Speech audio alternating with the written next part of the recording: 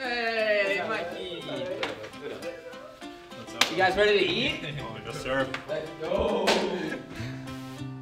We are making blackened mahi mahi fish tacos with uh, some very nice Johnny Sebastian Seas seasoned uh, sweet potato fries and then my chips and salsa.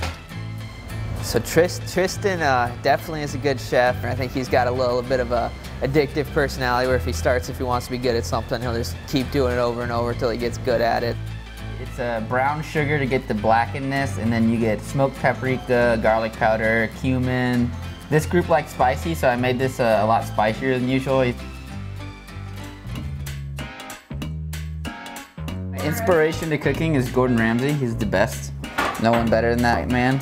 I've seen like every single one of his videos from MasterChef Junior to Hell's Kitchen. As soon as I got into cooking, uh, he was like the only person I knew of, so I just started with him. And I did not start cooking, and I also did not eat vegetables until last year when I moved here. We usually air fryer our sweet potato fries for me and Johnny are health, healthiest guys in the team here. But uh, we got a bigger group and it takes too long to air fryer, so we're doing them in the oven this time.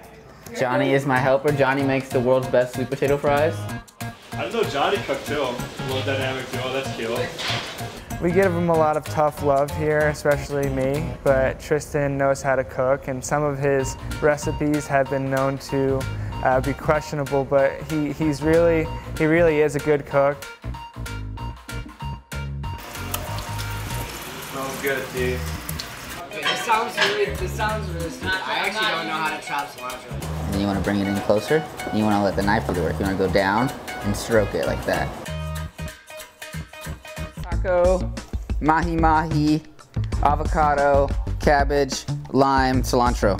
Thai's my favorite. Thai. Thai food's my favorite. I still gotta make Mediterranean, right? Mediterranean. I still gotta make Evan my uh, spicy uh, coconut shrimp curry. Two